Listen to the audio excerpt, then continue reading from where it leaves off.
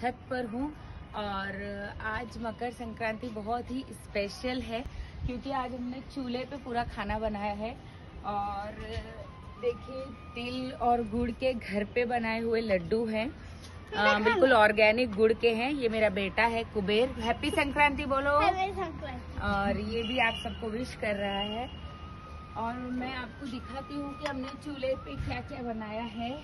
मेरी स्टाफ ने बनाया है ये सब। मैं तो पेशेंट देख रही थी बिज़ी थी। तो ये देखिए चूल्हे पे मिट्टी के बर्तन में राइस बनाया है।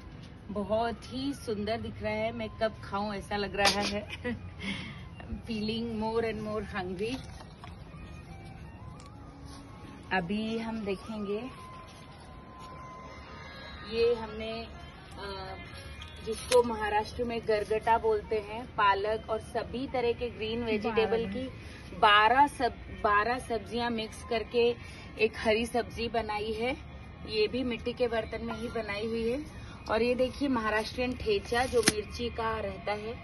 काफ़ी अच्छा। ये भी हमने पत्थर के इस पे कूटा हुआ है और कूट कर बनाया है। और ये देखिए बैंगन का भरता जो चूल्हे पे भूंज के बनाया हुआ है। और ये देखिए चूल्हे पे बनाई हुई बाजरे की रोटी या भाकरी जिसको बोलते हैं महाराष्ट्र में। ये हमारा आज शुद्ध देशी खाना है और आप लोगों को भी मकर संक्रांति की बहुत बहुत शुभकामनाएँ।